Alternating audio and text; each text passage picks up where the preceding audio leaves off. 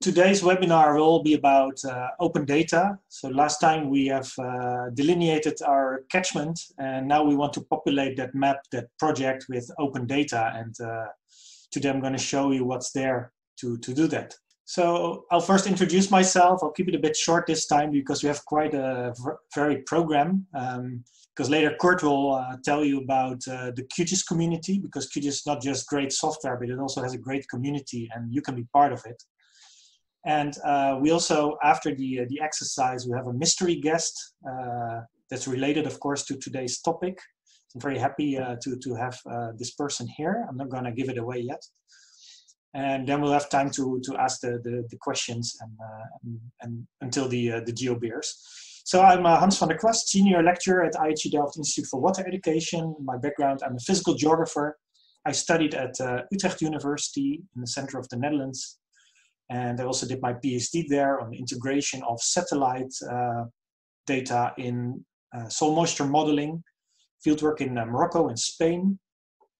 And uh, then I started working at the Flemish Institute for Technological Research as a researcher in environmental modeling uh, working on land use change models, uh, urban remote sensing for urban heat islands, water quality, those kind of things. Active with open source already at that time. We had a nice team working on, uh, on Python and exchanging knowledge. Since 2012, I work at IHE Delft as a lecturer in eco-hydrological modeling. I'm a board member of the Dutch QGIS user group, which was just established uh, at the end of last year. And uh, I'm teaching GIS and remote sensing in, in my institute but uh, my interests are uh, also, well, anything with open source GIS, uh, modeling, remote sensing. I'm a QGIS certified instructor, which means that uh, with all the courses you follow with me, uh, you will get the official QGIS certificate um, after successful completion, which supports uh, QGIS, but also you have something which is an international certificate, and our institute shows that we support this great open source GIS. In our institute, we have a nice group on QGIS for uh, remote sensing for hydrology, where we work on water accounting and uh, water productivity, for example. Um, I will show you a little bit about open data that, uh, that we use there. Um, in my projects, I work on spatial data infrastructure, sharing of data. That's uh, if you connect many GISs uh, together, you'll get that, and uh, the open standards and open data. That's all the topic of today, so I'm going to tell you more about that later. And uh, as I say every week, we are not just people behind the desk, although now we are a bit uh, locked in because of the situation. Um, but normally we also like to be out of the uh, in the field, and I know that many GIS people are also field people, also like Kurt to be out there and uh, do hiking and, and making maps of the things that you see. So fieldwork is an important part of uh, of the GIS world, and there are great tools also you can use for that. If you want to contact me, you can send me an email, uh, connect through LinkedIn or other social media. Um, I'm going to give the word to, uh, to Kurt to introduce himself. Hi, everyone. Um, Kurt Menke. I'm based in Albuquerque, New Mexico, USA, and I run my own uh, consulting business named Bird's Eye View. And I'm also part of the Q Cooperative, which is a venture that started up about a year ago, um, which is myself and several core QGIS committers and um, documenters and trainers um, looking to provide support services for QGIS. So if people need custom um, functionality or plugins written, um, people at the Q Cooperative can help with that. Uh, I also run a program called Community Health Maps, which I'll talk about a little later. And I do a whole mix of spatial analysis, cartography, teaching. I wear a lot of hats being self-employed. And um, in addition to uh, co-authoring QGIS for hydrological applications with Hans, I've written um, several other QGIS books. Um, another recent one is Discover QGIS 3X, which is a big 400-page workbook um, that you could use to uh, get a really thorough treatment of all the capabilities in QGIS. And um, I'll kind of keep it short today because we're going to um, we have a, a longer uh, program. Uh, but you can find me via email by the addresses at the bottom, or LinkedIn, or GeoMenke at Twitter. Great. Well, Kurt, you're also the next one uh, to present. So I'm going to stop sharing these slides and you can uh, show yours, which will be all about the QGIS community. So I'm just going to spend a few minutes talking about the QGIS community. And I think a lot of you are probably aware of this, but if you've never really thought about it, when you first download and start using QGIS, you're joining a community. And so QGIS is a software, but it's also a community and an organization. So these pictures that I'm showing here are some from some of the recent QGIS um, contributor meetings. This is the last one that was held in Spain. So QGIS as an organization, um, you can find this flowchart online and it operates um, as a democracy basically. So there is a project steering committee, uh, PSC, with a chair and a board, and they vote on um, important issues around the QGIS project. And there are other um, components of the QGIS organization. So there are national QGIS user groups, and every national QGIS user group gets one vote um, on issues that come before the PSC. There's also um, some QGIS committers who have been appointed as voting members to the PSC. So collectively, um, there's a lot of representation and ways to be involved even on official decisions um, within QGIS. So um, what makes QGIS such a success? Well, part of it is that there are, you know, it's just a, a fantastic piece of software, but th that's really because of the people, the community around it. And it's you as a user. So again, everyone on this webinar is part of the QGIS community by default. And um, whether you're contributing code or doing other things, just using the software, working with other people, you are part of the community. And so that combined with the internet, especially these days with COVID-19, um, all the collaborative tools we can use to work together, even though we're on different continents, that's really what makes QGIS such a success. So it's a real team effort and QGIS really strives to be um, a friendly, inclusive, respectful community. And so there is a code of conduct, for example, the, there's a link down below at the bottom of the slide that you could go to to see what the code of conduct is for QGIS.org. And I think one of the nice things about QGIS is that um, there's not really a barrier between being a user and being a developer. A lot of the developers are users. A lot of users write plugins and, and use code. And you can contact people who are writing new features. You can ask people questions. In fact, when you get on GIS Stack Exchange or one of the QGIS listservs, you know, you're talking to someone in the community.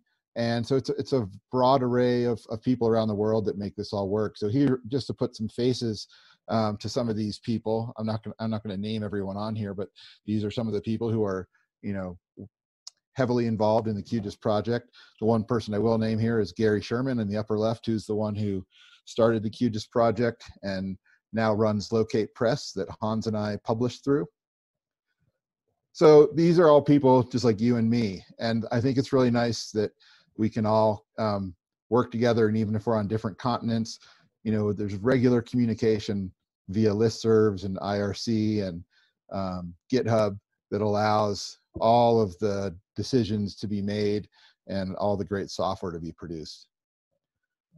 And kind of as part of this, I want to give a thanks to Andreas Neumann. A lot of these slides I'm showing you right now were um, either taken or inspired by his 2019 A presentation. So it's kind of part of uh, the openness of the community. Oftentimes when someone gives a, a talk, they'll make the slides available afterwards um, and, and welcome people to use them. So um, I just want to give a shout out to Andreas for compiling some of what I'm showing.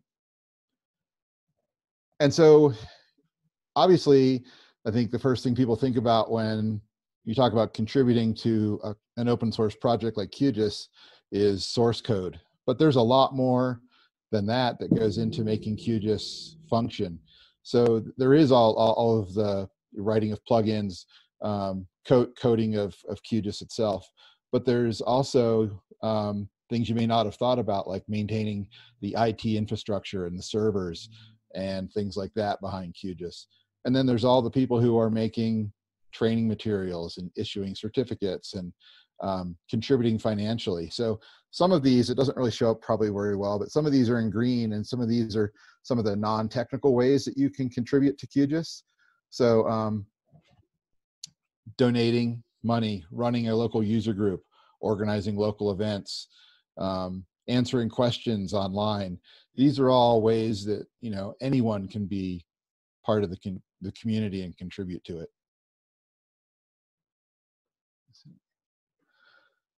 So another um, thing I recommend, if you haven't been to one, is um, the next time we're allowed to have face-to-face meetings, is attend one of the contributor meetings or um, one of the local user group meetings in your area. And so these are pictures. Um, I've always found these um, great. I can't wait till we can all get back to meeting face to face.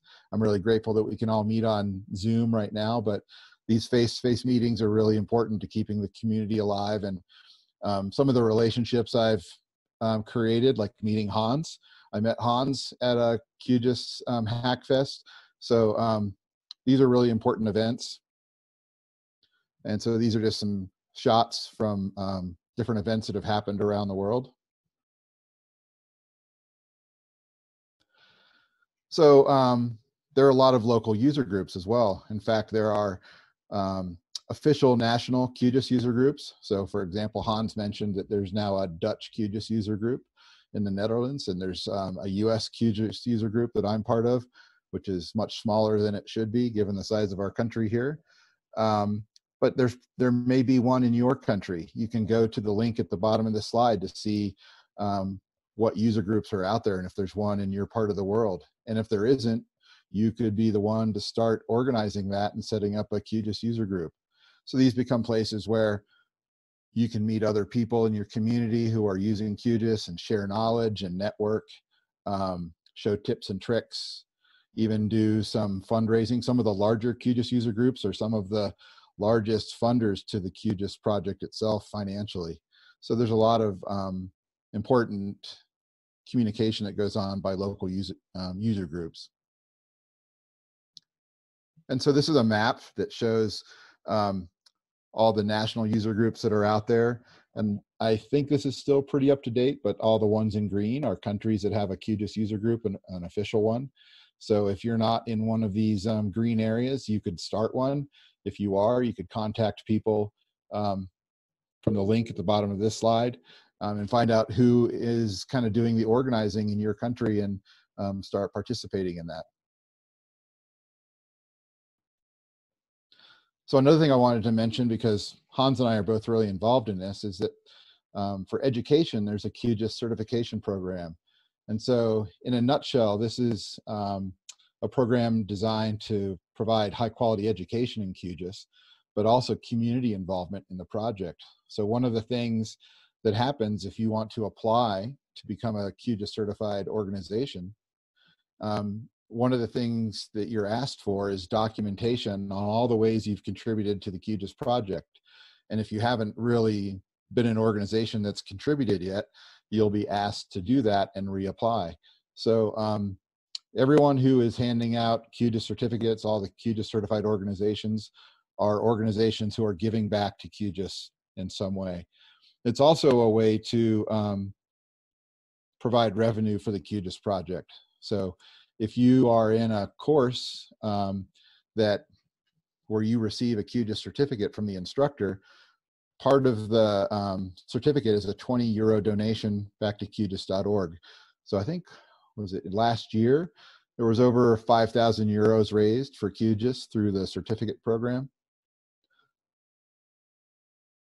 Um, and this is uh, this woman is Anita Graser, who you've probably heard of if you've been on Twitter or Stack Exchange or anywhere online related to QGIS. And at some point, I don't know if she originated this, but she called QGIS a do-ocracy, and I always really liked that term. And I found out there's actually on the community wiki a page about do-ocracy and what it means if you want to look it up. But this slide you're looking at, this little GIF, is um, showing the unique values paletted raster renderer that Hans has showed um, a few different times in this webinar series. So um, a few years ago, this didn't exist, and myself and some other users were wondering, you know, trying to figure out how to render rasters that were categorical and had some kind of unique value. And this, the one that you're looking at on the screen here is vegetation. And eventually, um, one of the developers suggested that we scope out what we would want as features for this renderer. And um, contact one of the developers to see what the cost would be. And so we ended up doing that and contacting uh, North Road and um, getting a quote for it. And it wasn't something that any one of us could individually pay for, but collectively we were able to raise all the funds amongst 10 or 12 organizations. And within three weeks, we had this paletted unique values renderer um, in the QGIS nightlies. And it's a really empowering feeling. So one thing I'd li- I like to remind people of is that if there is a feature that you find missing or something you'd like to see improved, you can work on that. You can do the coding yourself, or you can hire someone to do it. And um, it's a really empowering, important part of QGIS and any open source project. Um, another thing to that I encourage people to do is um, if you encounter a bug in QGIS, report it because if you don't report it, it's not likely, you know, it may not get fixed if it's not a common bug or if no one if no one ends up reporting it, then no one knows about it and it won't get fixed. So it's really important as you run into things to report them. So there's some steps here that you can go through. Um, you report those on GitHub, and you know it's um, like the GIF here says, "Help me help you." Really um, provide good information when you're doing that. You know, you need to tell people what version you're using, what operating system you're on, all that kind of basic stuff, so that they can understand what your issue is and be clear about what kind of help you're um, looking to get or what kind of bug you're getting. Um, so really, I guess the, the message here is to to really just become involved and don't just sit back and wait for someone else to take care of it for you because you can be an active part of that. And this kind of goes for sponsoring new features as well. And there's a couple links down here to these two blog posts that uh, Nyall Dawson, uh, one of the QGIS developers, wrote about how to effectively get things changed in QGIS.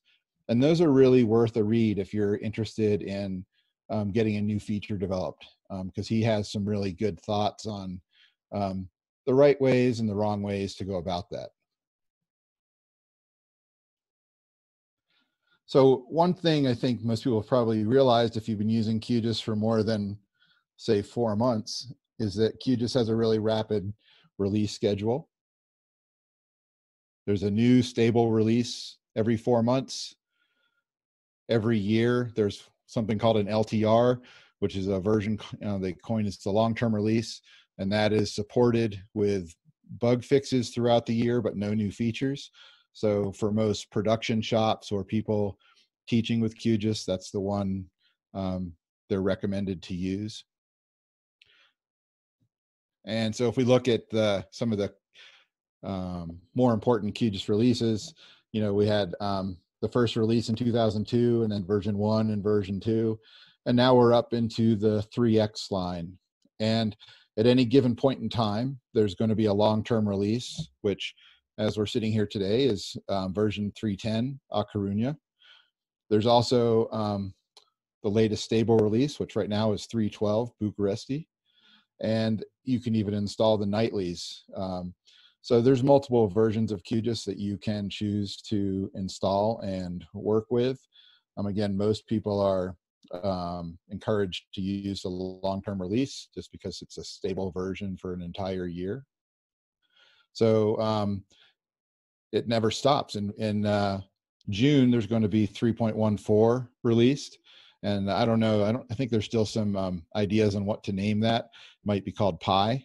Um, and then in 316 in October, we'll have the that'll become the next long-term release.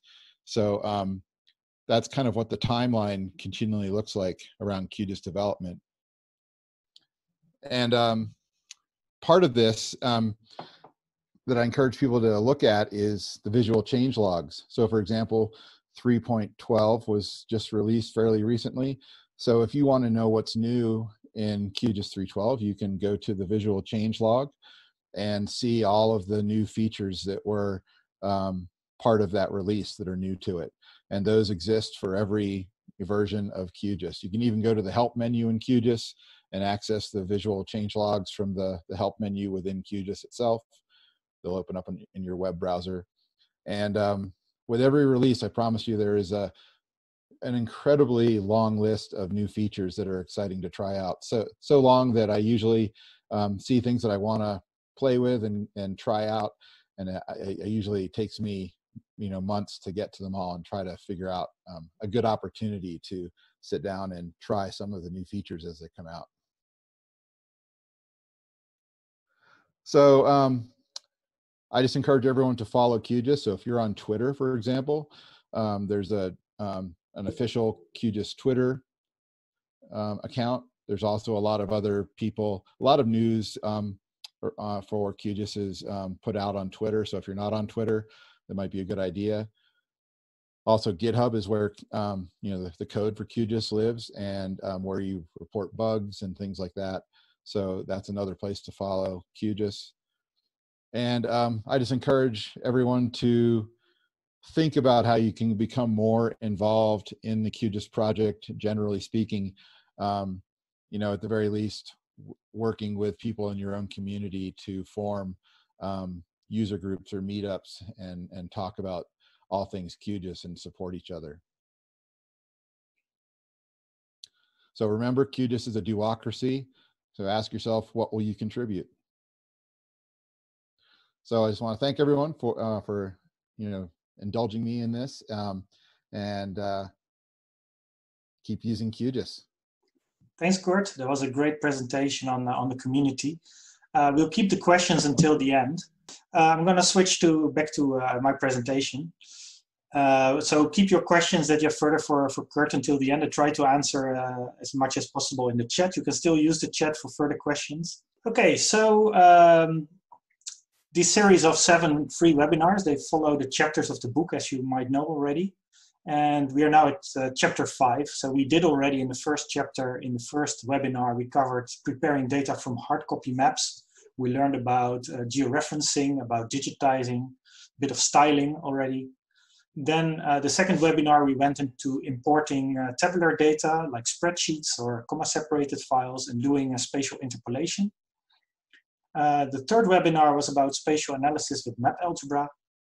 Then last time we have uh, demonstrated how to do stream and catchment delineation, an important topic for people in, uh, in hydrology and water management.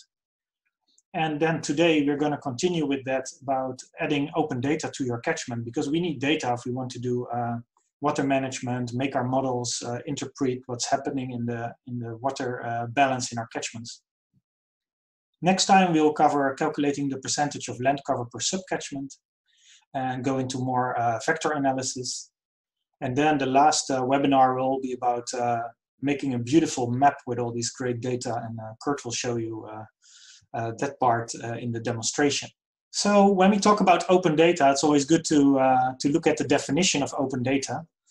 And open, that's for open data, open source software or open access. It's not just open that you can um, download it. Uh, so a PDF with a map is not really open. You need to be able to, to just use it, but also to reuse it and have the right to redistribute it.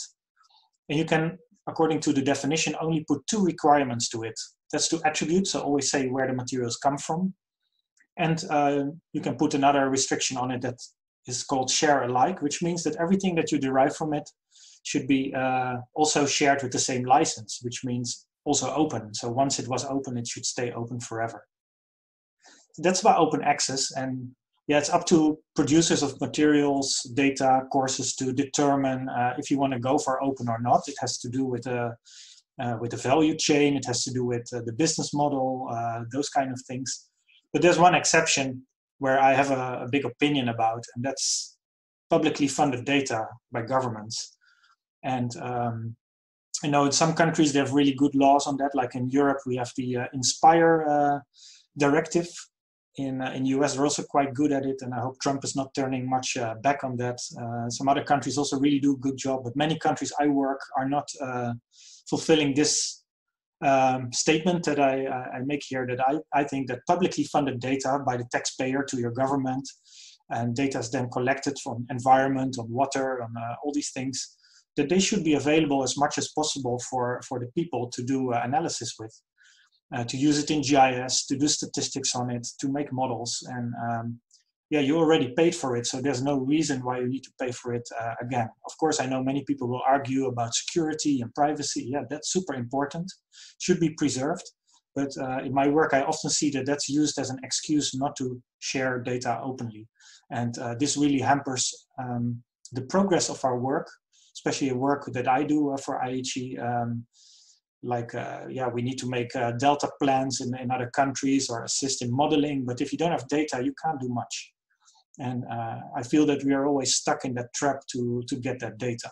And I hope with this positive uh, presentation of today, the positive webinar, you will see the value of it. There's much more to say about it. I have other webinars about that that I will also uh, share. Um, and that you really see that this is essential if you want to make progress. That's the same now with the corona crisis. You know, if all this data is not available or governments hide it from us, then yeah, that, that's very scary, you know. On the other hand, yeah, we want to measure uh, corona related things with apps, but we also have to be aware that we don't want to share our privacy. And uh, so there are also limits to it. There's always a balance there, but don't let it be an excuse not, not to share things.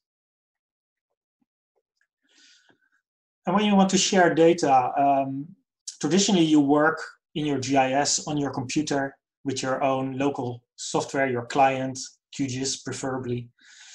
But if you do that in an organization or in a country, then it's very difficult to share the data. And therefore, we have to move away from that and work in spatial data infrastructures.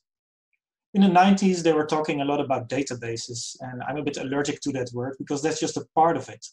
And those old folk, they always say, ah, don't do that. We did it. We set up all these databases and they're never used and they don't work.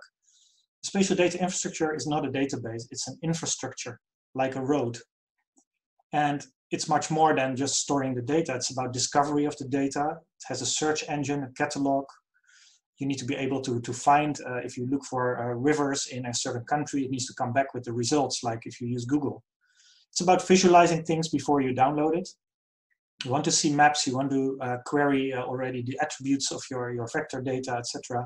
You want to evaluate if the data is of the right quality for your use. The metadata is very important to make you judge if it's useful for you. And uh, finally, if you've decided if the data is useful for you, you want to access it, um, and not just by downloading shapefiles or downloading uh, a PDF from the website. No, you really want to have a live link with the data on the, in the in the spatial data infrastructure. You want to use it from apps. Uh, you want to create services around it and feed your models with it, while the, the data, the original source, remains in the spatial data infrastructure. So that's what a SDI is. And there's a relation between SDI and GIS uh, that most of you know, like on, on your, your uh, laptop. But you can interact between your GIS client on your laptop or Google Earth or any other tool with, um, uh, with the spatial data infrastructure. And the key there is the open standards from the Open Geospatial Consortium, the so-called OGC standards. I just mentioned a few here, there are many more. There's WMS, which is just uh, rendering a picture from the data. WCS, Web Coverage Service, is the is the raster, and Web Feature Service gives you the real vector data. And if you have your projects around an SDI, you can simply connect to the SDI, get your data over, and work on it. And that's something um, that you can see here in this animation. So we're going to connect to uh, an SDI that we created uh, with help of different projects at IHE. Um, one of them was the Mamase project in the Mara River Basin. Uh, this tool was developed by, uh, by Kartoza, um, where you can simply connect from QGIS Direct with a GeoNode. GeoNode is an open source stack for spatial data infrastructures. Really great tool. And here I'm just downloading the WMS of uh, the river basin boundary, and then I can combine it with the other data. Another thing uh, that we're going to see in the exercise is OpenStreetMap. And uh, for people who know, don't know OpenStreetMap, I'm going to explain it a little bit. So I probably the whole world already knows Google Maps, but Google Maps uh, is very useful. We can use it to navigate, to find things, but it's very well developed in urban areas where there's businesses. Second, it will it's not really free. You you pay with your privacy. It combines all your data from Gmail with other services from Google to uh, to build all kinds of statistics and serve you with dedicated uh, uh, advertisements. But the most important restriction for GIS people is that uh, Google doesn't give you the vectors. It just gives you the picture. So a great alternative uh, is uh, OpenStreetMap. It's voluntary gathered information.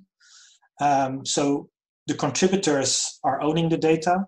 So you can be a contributor, you can be part of this uh, nice uh, community like QGIS, it has a very nice community.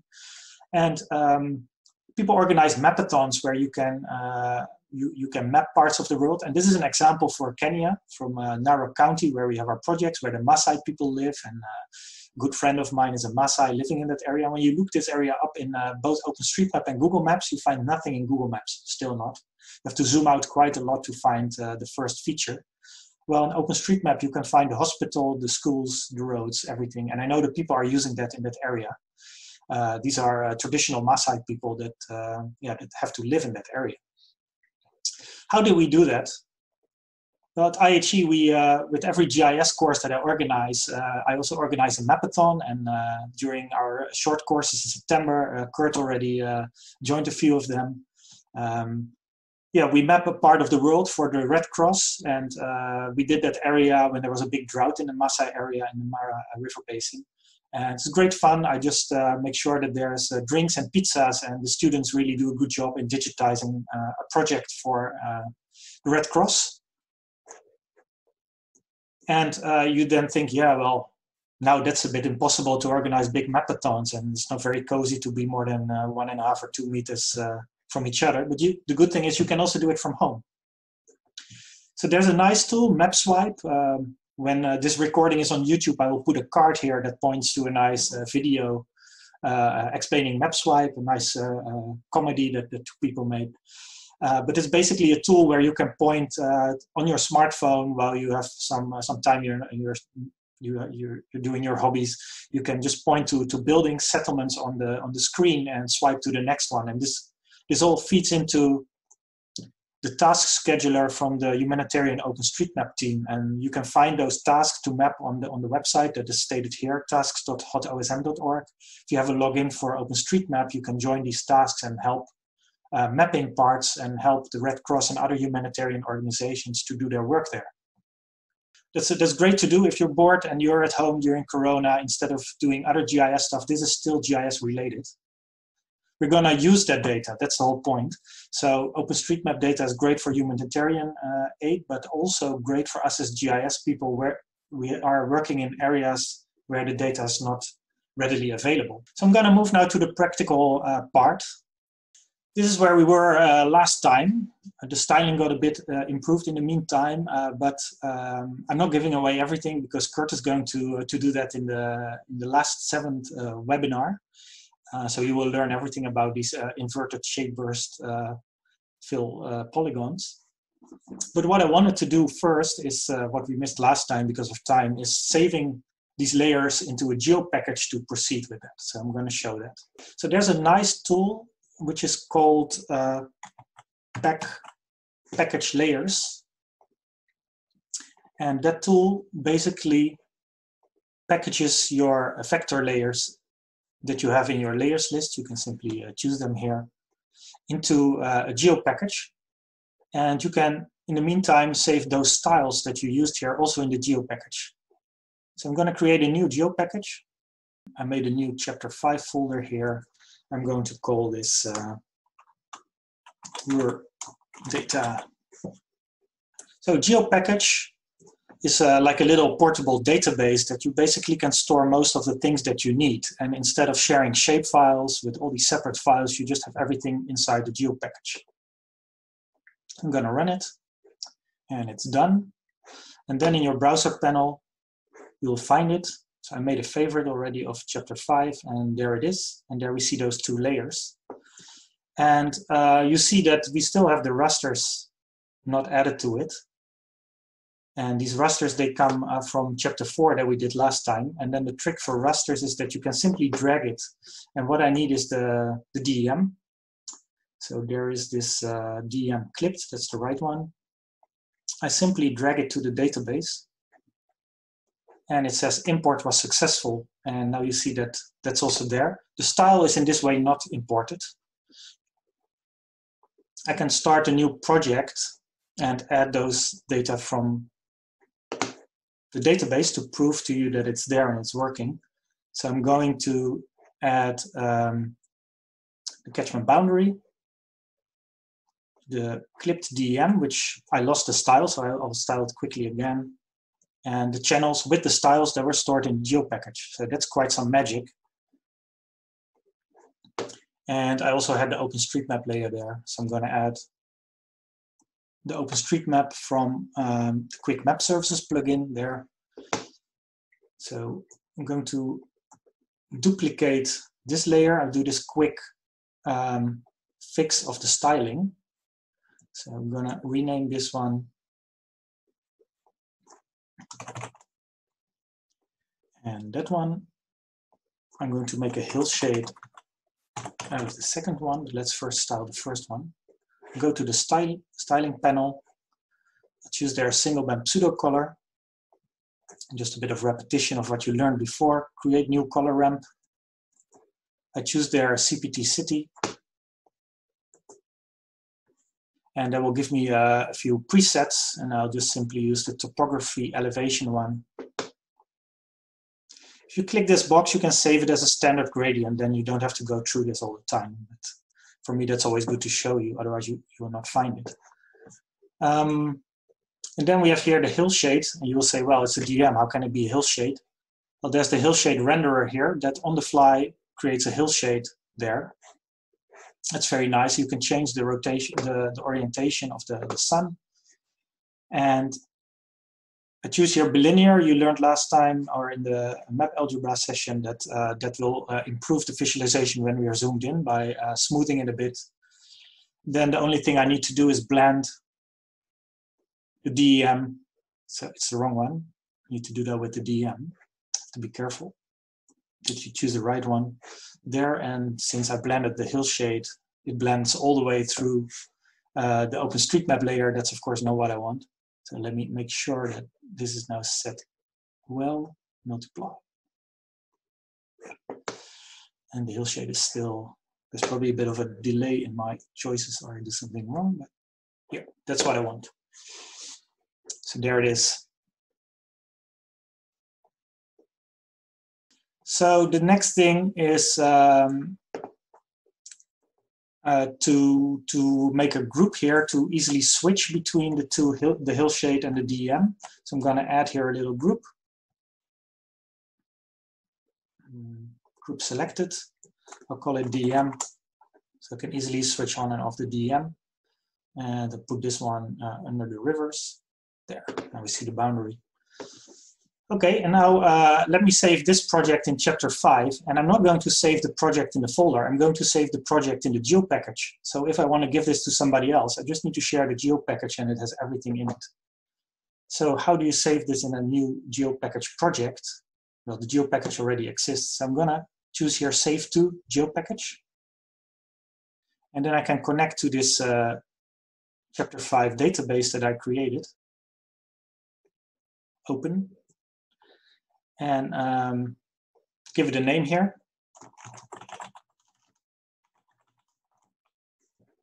Then I do OK.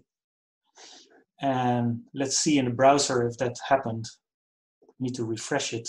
And we see our project now in there. So if you share the geo package, then people have the layers, the styles, and the project.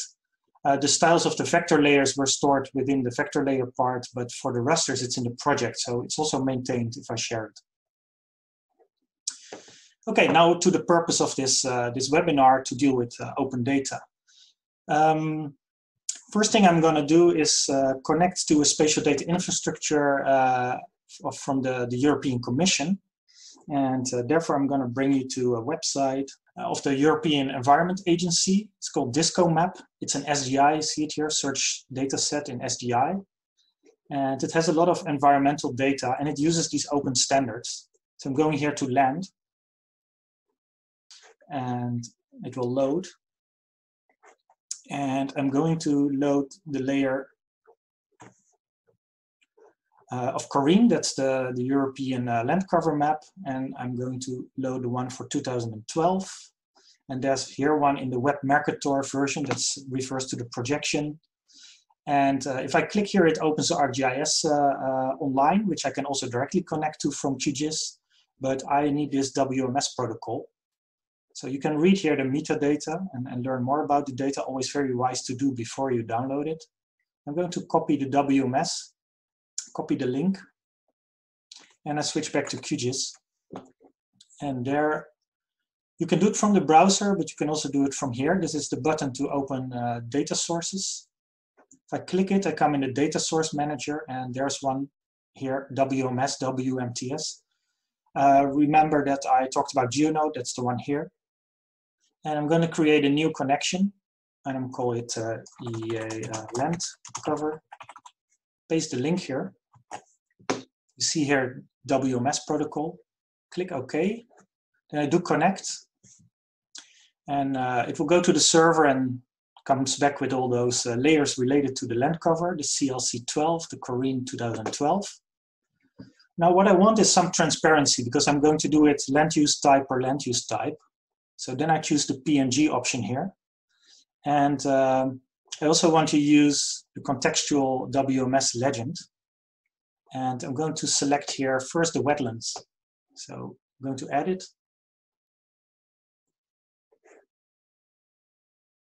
Close and uh, bring it up here. So the wetlands here are in the headwaters of the, the Ruhr River and uh, that that makes sense. These uh, springs are there, and we can check on the OpenStreetMap uh, what they are.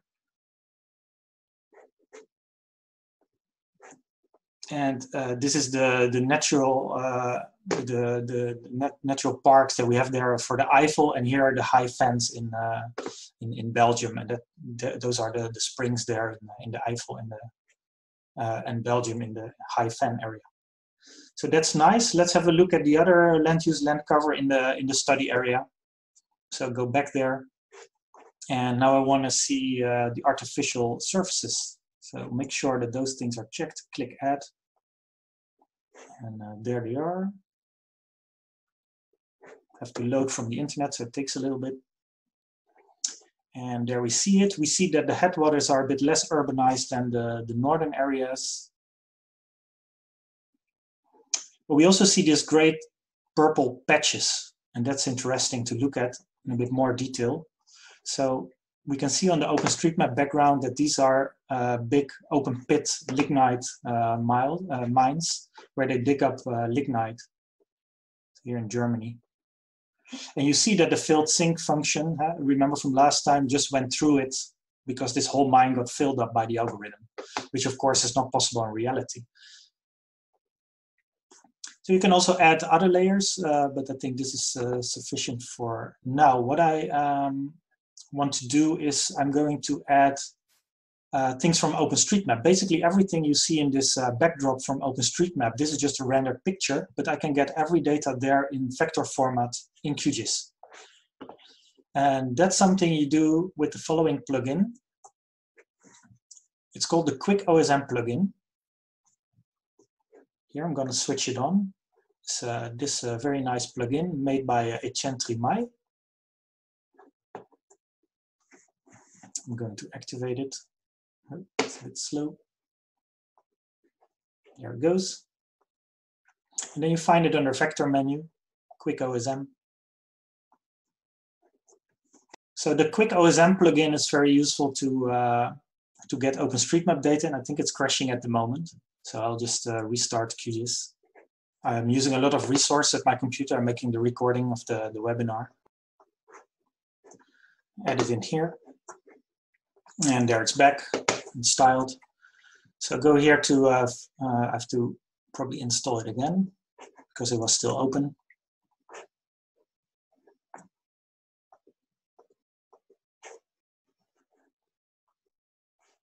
Probably not wise to activate plugins when you have open another uh, QGIS window just did that to uh, have a bit less uh, overhead on the on the project, but that was maybe not a good choice. That's probably causing the problem. So this is the quick OSM plugin, and um, OpenStreetMap uses key and values. And if you click this button, it will open a website where you can find all the combinations of keys and values. It's quite a heavy website. It will load here.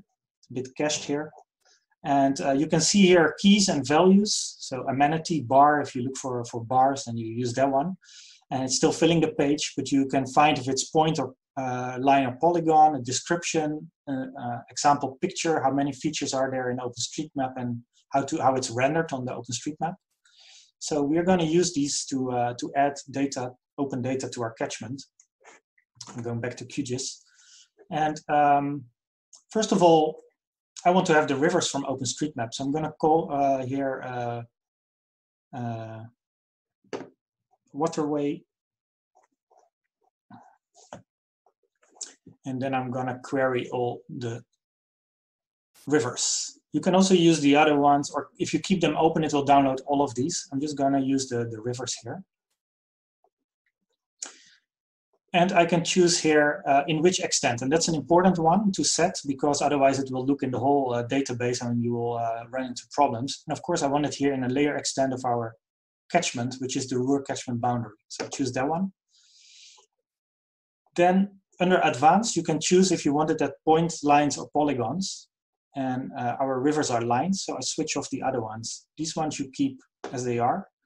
And then you simply run it and it will use the overpass API then to download those uh, line vectors. If you have slow internet, you need to increase uh, the amount of uh, for the timeout, which you see here it's successfully downloaded. I'm getting back my uh, QGIS screen here. And here we see the waterway rivers.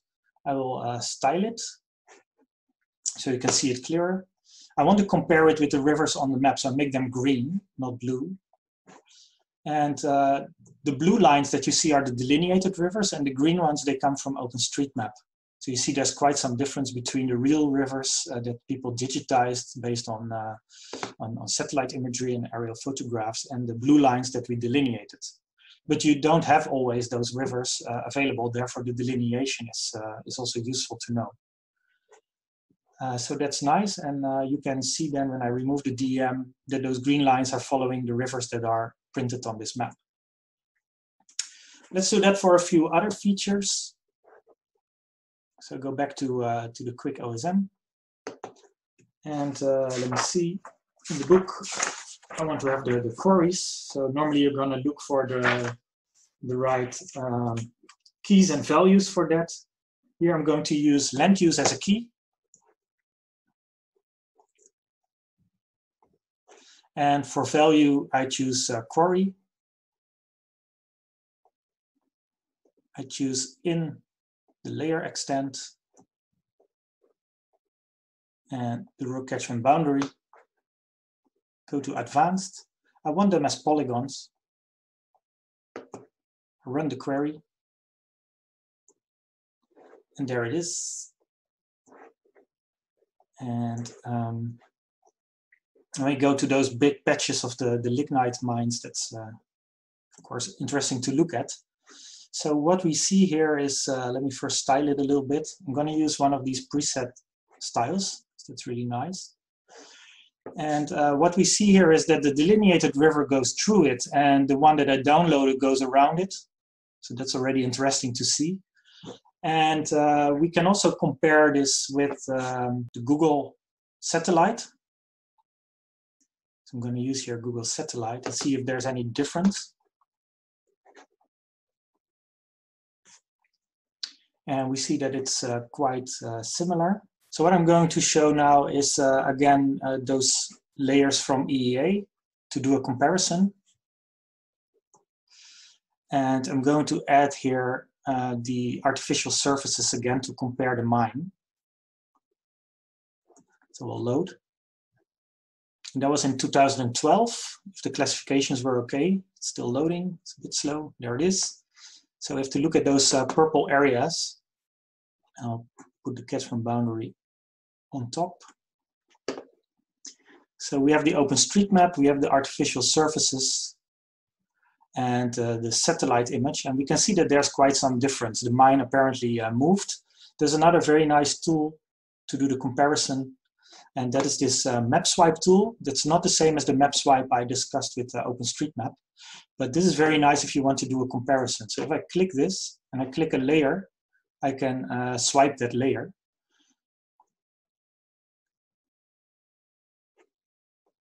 And here you see it. So that's a nice way to compare different layers.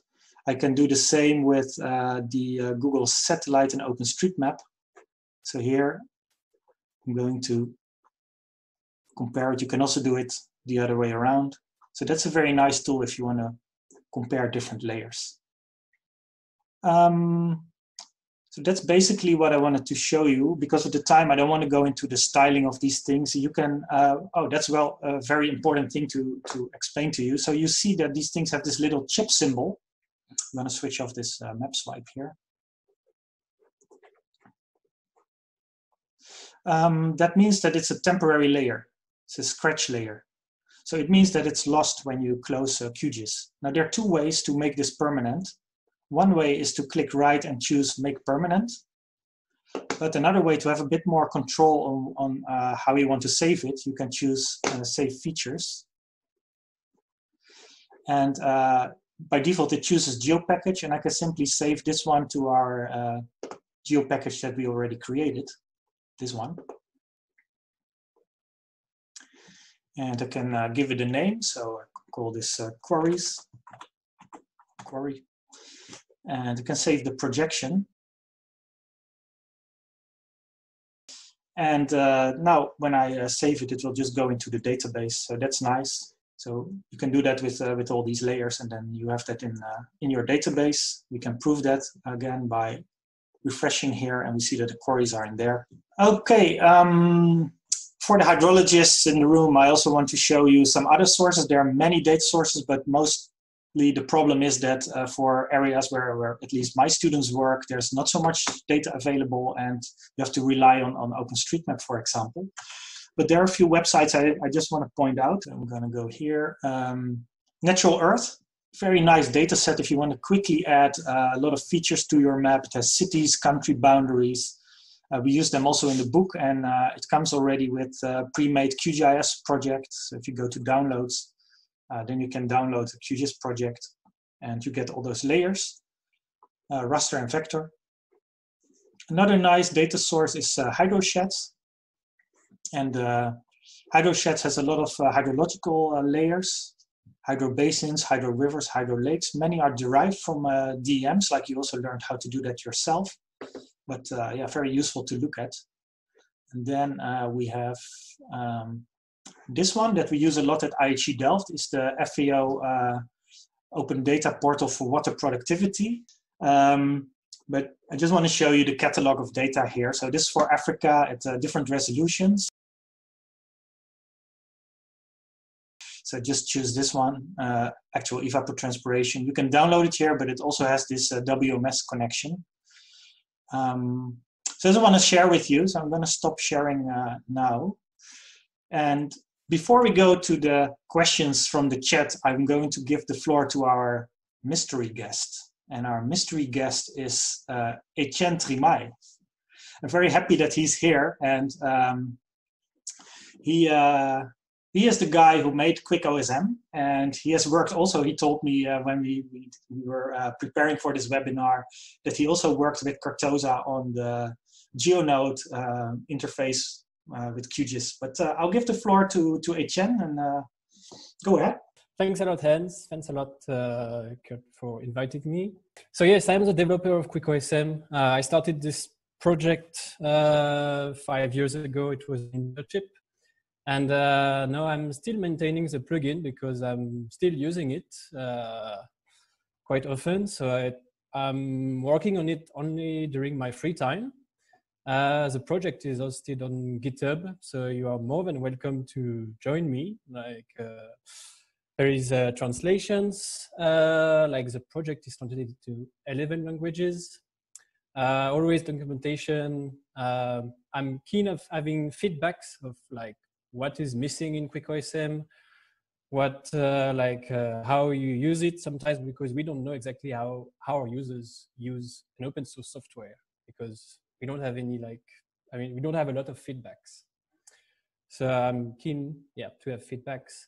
Um, I have plenty of ideas about QuickOSM. Like I want to make it uh, easy to download OpenStreetMap data when we don't know, for instance, the key value that you showed us, uh. So I want a kind of wizard. I want some presets like, okay, I want to download a, a map about bicycles. And then you just have a full presets of queries like bicycle parking, bicycle lanes, uh, and you have all the styling coming with it, uh, like already like the bicycle lanes, the one way on the streets. So I have plenty of ideas. It's just uh, missing times and sometimes, yeah, like. so feel free to join uh, on GitHub. Um, now I'm working for uh, 3Liz. Uh, it's a GIS open source company. So we do QGIS core development. Uh, we do also QGIS plugins uh, for desktop and for server also. Uh, we do some uh, projects for QGIS with uh, some PostGIS database, uh, setting up some forms, etc. of course, we do trainings about QGIS, PostGIS. And our main tool is also a LizMap web client. I'm going to demonstrate just after. So just on QuickOSM, so there is a few things that uh, like uh, I could show more about like what has been done just now. Uh, it's also possible to run uh, QuickOSM using the QGIS processing model. Uh, you already showed us the processing model, right? so I'm going to demonstrate this. Um, there's also some default actions that QuickOSM is providing when you download data. So QuickOSM is basically scanning like uh, all the fields that you have in your layer. And if it detects like some mapillary pictures or if it detects some URL, you can open them straight from QGIS. Uh, so then I will show yeah, a Lizmap client. So what is Lizmap?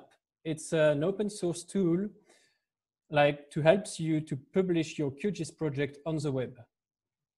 Uh, so basically, like we have some QGIS configuration, like where you can set up like the symbology, you can add some forms on your layers, uh, you can have some print layouts, uh, you can yeah, customize a few things in QGIS. You can also set up some uh, settings using the Lizmap QGIS plugin to enable some extra features such as data viz, access rights, uh, editions. And the thing is that it's like Lizmap is using QGIS server. So everything that you do on your QGIS desktop, you will get it on the server and then in the web. Uh, the same, uh, like it's also available on GitHub. Uh, I put just some links like about the demo. Um, it's also available on Transifex for translation. So for now we have uh, 21 languages. So I'm going to show you a quick demo about uh, QuickOSM and Lizmap. So this is a, so you can see my QGIS, right? Yeah. So this is a project that I made before. Um, so Hans already showed you like uh, QuickOSM. Um, so usually like a few tips, I just start writing like, uh, I, I saw you were using the drop down. Sometimes it's long and you can just uh, start and it will just autocomplete uh, just a quick tip. Um, I wanted to zoom first uh, in my area to not download a lot of data. So here for this instance, well, I'm just downloading uh, like some fire hydrants in the layer extent. Uh, no, Canva extent. Yes. So with QuickOSM also, so that's downloading uh, OSM data from the server, but you can also, like if you have a local OSM file, you can also use this tab um, to load a local OSM file. So it, I have my fire hydrants now. If I check the attribute table, uh, emergency fire hydrant, yeah. So I was talking about like, uh, let's say uh, you see I have some mapillary pictures. So if you have the plugin installed on your laptop, you can uh, straight open the mapillary picture from uh, the plugin. Here I don't have the Mapillary plugin, so it will open the web browser with the picture itself. Yeah, here we are. You can see my fire hydrant. Um, so let's say uh, there is a typo or something like a survey date or something. I can also, uh, there is some default actions. Uh, so I can, for instance, use JOSM. JOSM is the main OpenStreetMap editor for uh, OpenStreetMap data. So if I click on it, um, it will open uh, JOSM, or you can use uh, uh, the online editor to edit this data. So there's a few like actions like this, uh, provided if you have a URL, it will open it in a website, etc. Um, so I'm going to remove this layer. Yeah, okay. So I was talking about using uh, QuickOSM in a processing model. Uh, so I already made this fire hydrant uh, model. So here you see I have an extent. I'm building a query, so that's a, so you see uh, I have a list of algorithm, and here QuickOSM is also adding his own algorithm in the toolbox. So I'm building a query here. So I'm downloading the file and then reprojecting the layer because the data comes in uh, degrees 4326. So I'm reprojecting into meters in my local uh, uh, system. Then I have my fire hydrants. I do a buffering here of uh, 500, uh, 100 meters. And I set some styles automatically. So now if I launch this uh, query, so fire hydrant, I just double click. So this query is, is like already set up to download like fire hydrants in my area.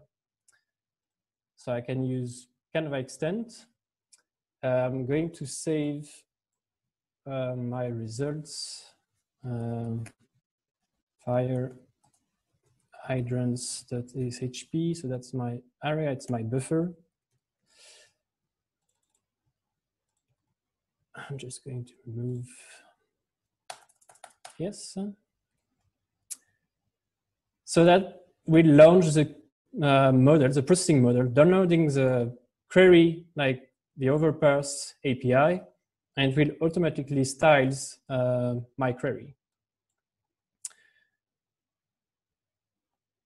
So I'm just going to move them outside of this group. So yeah, that was for the quick QuickOSM part.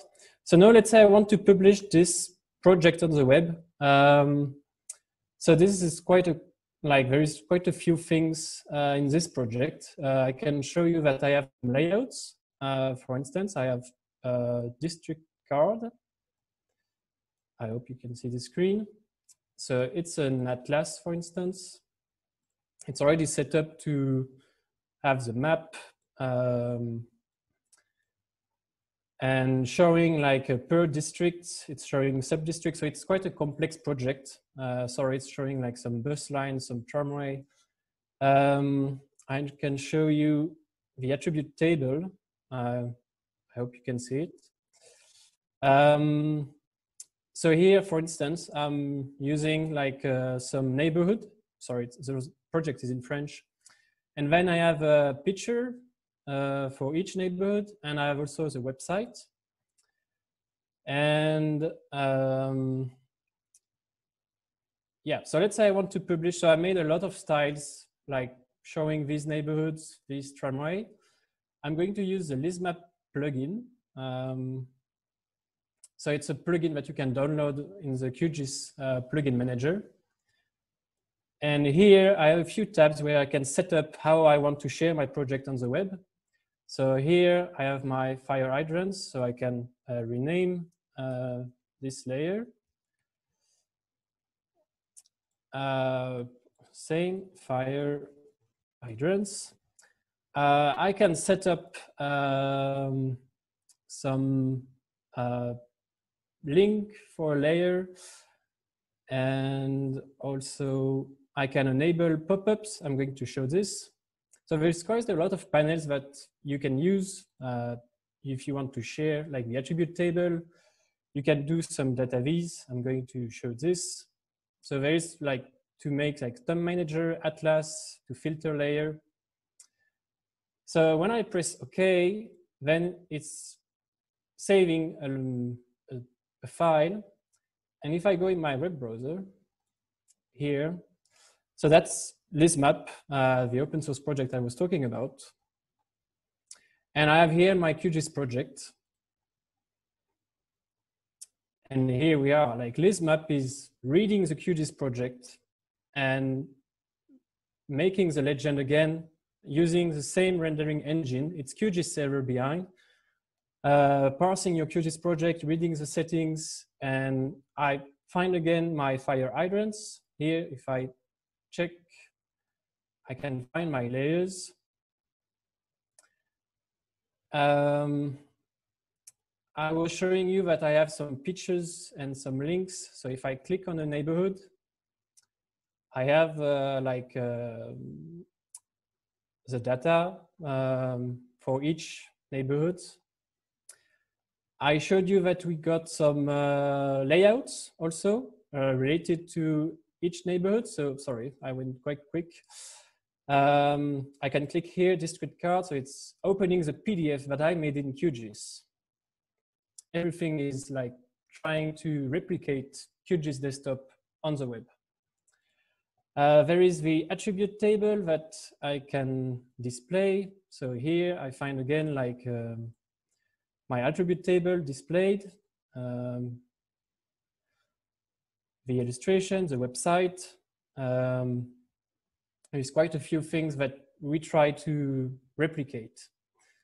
And the last thing that we are working on the next feature of LizMap, uh, LizMap 3.4 that hopefully will release soon, so I know you already saw a lot of data viz uh, about the COVID-19, uh, but we're also doing like, we started this project uh, this week. So this isn't like, we are like, we can build without any programming skills, just using the LizMap plugin in QGIS. Uh, I can open it, uh, COVID-19. Yes, yeah, you have, have this project. Uh, I can set up some data viz. So in the next version of LizMap, we have more like charts possible, HTML templates, bar chart. So you can set up, and the idea is just to publish this one. So here's the result. So I can filter. Um, so this is a, for the full France area, but if I do like per province, then all the data is filtered for like each um, province. So yes, yeah, that was my presentation about like uh, QuickOSM quickly and how I can publish back some data about my fire hydrants on the web uh, using map. Yeah, thanks.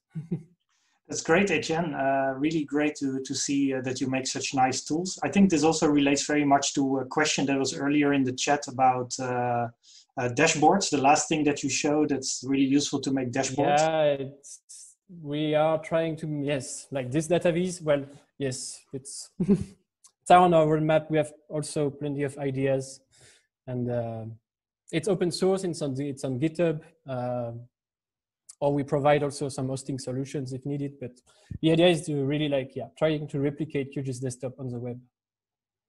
Nice.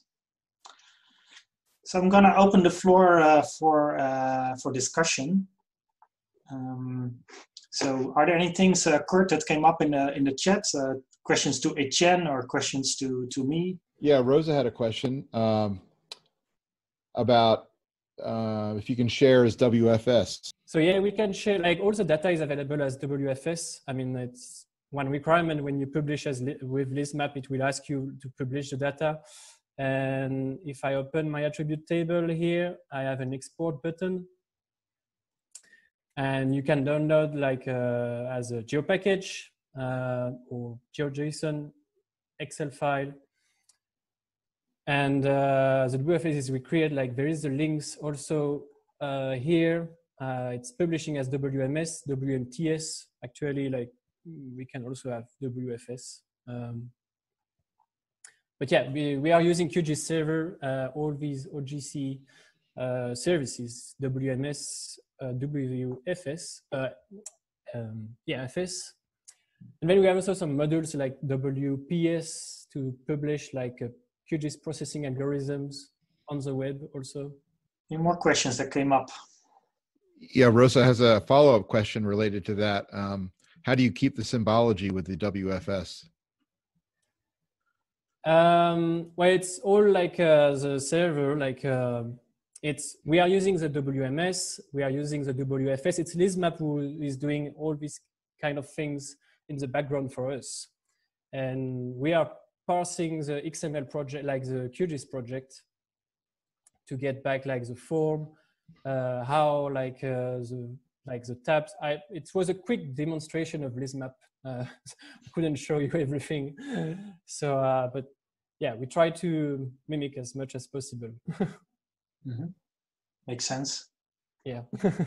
Any more questions that came up? There's one, some questions that I, I, I was checking in, in the chats was a bit related to, to quality or resolution of data. Um, I always see that a bit differently. Um, of course, resolution is never good enough, but what, what do you have? What's the alternative? So I always have to see it like that. You know, we can always say, okay, if we use the Google uh, Earth, uh, uh, Google Satellite for georeferencing, it's not good enough. Yeah, but do you, what do you have? If you have something better, use it. I saw somebody uh, sharing this this very nice FAO soil map, 250 meter resolution. Yeah, do you have something better? You should always ask that. And it's the same with OpenStreetMap. Yeah, that's created by people. There can be errors. Yeah, well, do you have another data set you can use? Another question for Etienne where can we find something like a guide to use Lizmap? Uh, I can put the link to the documentation, of course. Well, everything is on GitHub. Uh, I can put the link and you will find the documentation also uh, docs, but I'm just sending you the link to the next version of the documentation, which is not published yet, but it's like the slash next uh, makes a huge difference in the documentation. Uh, it's not yet public, but I'm giving it to you. Um, for the webinar. yeah. so hopefully during this uh, lockdown for the COVID-19, I will spend also like uh, it's on my roadmap to spend also some time improving the how-to uh, using Lizmap. But uh, we try to make it as straight as possible. Just uh, make your project open Lizmap. Just open the Lizmap plugin to create the Lizmap settings files, even just by default, and just start publishing it on the web. Of course, like I didn't show you, but you need to install Lizmap or to ask us like to host it for you, but um, just like the basic configuration. It's already just uh, nearly working. Great. Um, if there are no further questions for now, you can keep them uh, for the, the GeoBeers. I suggest, uh, in the sake of time, that we continue with the, the last few slides before we go to the GeoBeers. Um, so as you know that we at IHE Delft offer a lot of uh, free uh, course materials. Check gisopencourseware.org for more. Uh, follow the YouTube channel and uh, register to that. Subscribe to get automatic updates. And um, you can also find our short courses uh, on the IHE Delft website, really nice for face-to-face when the COVID situation is over and to go for the QGIS certificate. And we're working on some more uh, online courses also with, uh, with Kurt, and uh, we'll keep you updated about that. I'm giving uh, the word to Kurt.